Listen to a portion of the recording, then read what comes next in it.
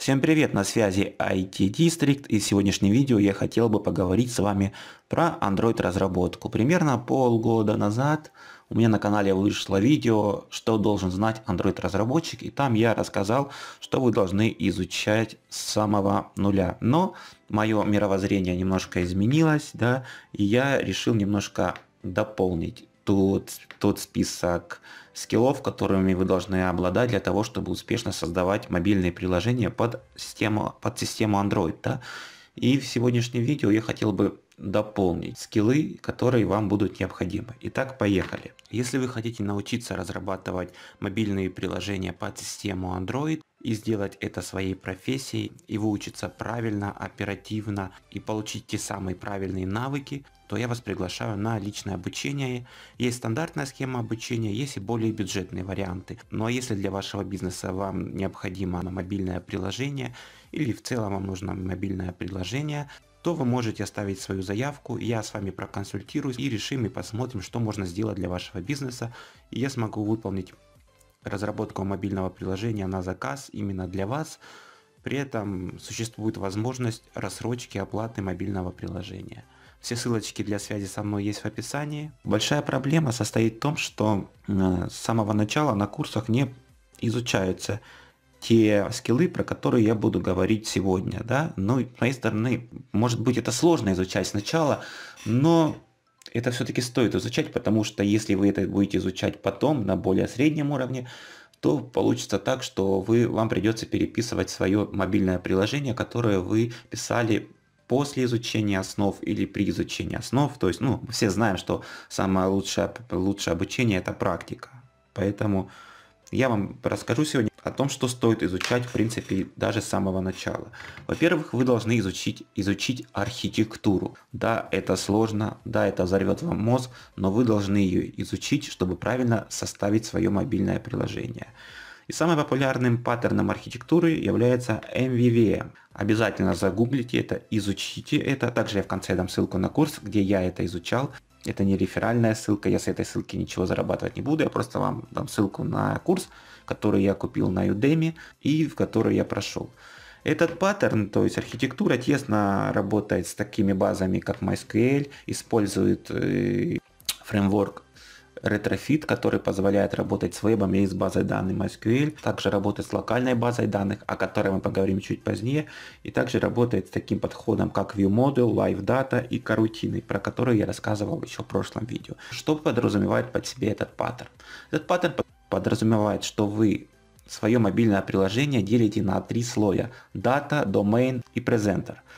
То есть в слое Data вы работаете с базой данных. Суть заключается в том, что, например, у нас приложение для интернет-магазина, да, и из, это приложение загружаются данные сервера этого магазина о наличии товара, о наличии остатков.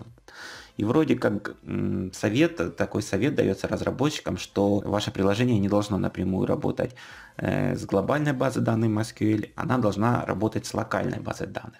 На прошлом видео я вам рассказал, что нужно изучать базу данных SQLite, но теперь не нужно это делать. Изучайте базу данных RUM, которая работает поверх этой базы данных SQLite. По факту там же тот же SQLite, но его, это по базу данных, это база данных более высокого уровня, она, она более простая в освоении, более современная. И она работает именно вот по этому паттерну MVVM.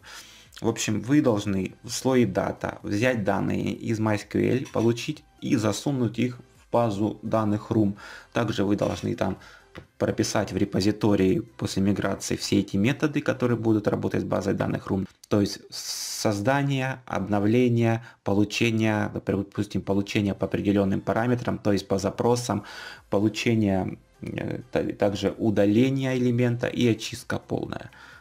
Когда вы все это сделали, вы должны передать эти данные через интерфейс, вы должны передать эти данные в свой посредник domain. Из этого слоя, слоя посредника domain вы должны передать эти данные потом только в презентер, где, в котором находятся все ваши activity, то есть экраны, и вы должны напрямую передать это все не напрямую в activity, а передать во ViewModel. Это следующий пункт в моем видео. Вы должны обязательно изучить ViewModel. ViewModel это такой класс, котором происходит вся магия, вся ваша бизнес-логика, и только результат обработки вашей бизнес-логики попадает в Activity. Если вы вы в, view используете какой-то класс, а в данном случае мы будем класс репозитория использовать, который, в котором мы описали все, что должно происходить в базе данных Room, то есть в локальной базе данных, где, должно, где мы прописали все вот эти методы обработки, создания, обновления, все.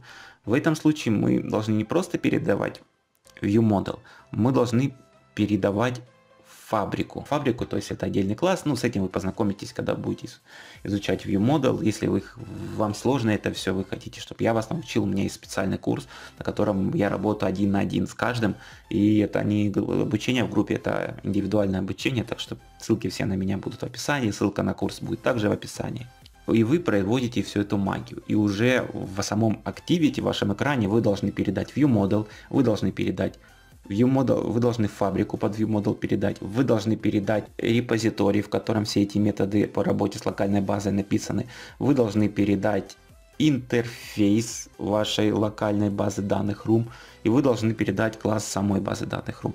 Как вы видите, очень много действий нужно делать. Но для того, чтобы все это не передавать, э, разработчиками было, были придуманы специальные фреймворки, для инъекции зависимости. То есть для того, чтобы все это не передавать, уменьшить код, и упростить код и тем самым улучшить тестирование вашего мобильного приложения, был придуман подход инъекция зависимости. О таком фреймворке одном я рассказывал на прошлом уроке, это Dagger. Но проблема Dagger в том, что он большой, его, он сложен в изучении, он сложен во внедрении. То есть нужно обладать большим багажом знаний, чтобы правильно его внедрить.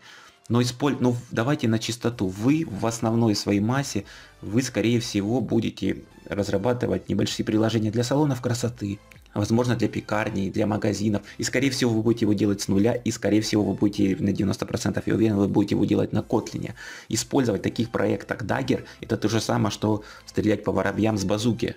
В данном случае я вам советую использовать фреймворк Coin. И это следующий пункт. Изучите фреймворк Coin. Он очень прост во внедрении. Там все очень просто. Вы буквально создаете класс. В этом классе вы создаете переменную модуль. И, ну, по переменную под модуль, да, и указываете, что, зачем должно у вас как бы инициализироваться, да, и, и просто передаете, там вы расширяете класс еще applications, и просто в Activity передаете ваш этот модуль и все. Ну, то есть, ну, это более, я урезанно очень, можно сказать, ни о чем рассказал по поводу этого коина, да.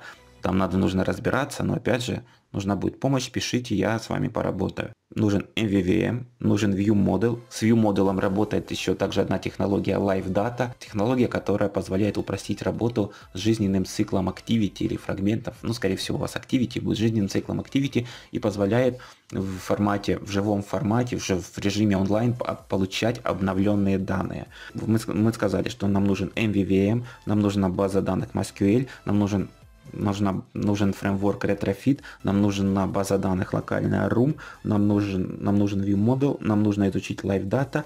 И для того, чтобы это все долго не работало, а шло параллельно друг другу, то есть в, в параллельных потоках, нам нужно разбивать весь наш функционал на параллельные потоки. Для этого мы должны использовать карутины, которые заменили RxJava, то есть используем карутины. Мне кажется, по-моему, в прошлом видео я рассказывал про, про карутины. Ну, в общем, загуглите, также все есть это. Далее, я хотел бы с вами поговорить про такие операции, как авторизация, регистрация пользователей в вашем мобильном приложении. Вам нужно, она называется аутентификация, вам нужно изучить это, причем заизучить, как это все работает с облачной базой данных Firebase изучайте еще эту базу данных и как работает приложение. Там все очень просто, все понятно. Также изучайте это. И также последний пункт в моем топе, что нужно изучить по технологиям, это Work Manager. Это такая технология, которая позволяет делать какие-то операции даже тогда, когда ваше приложение не используется. То есть вы, например, можете во Work, Manager в фоновом режиме загружать остатки товара со склада. Ну и в общем такие вот туда, здесь запускается именно процесс загрузки какой-то информации в фоновом режиме. В общем, вот, вот такие мои рекомендации по изучению разработки Android приложений. Это очень важный, важный список. Используйте Coin. Если вы на Kotlin пишете, используйте Coin. Меньше будет головной боли у вас. Используйте базу MySQL Retrofit, Room, Firebase, карутины, ViewModel, LiveData, WorkManager.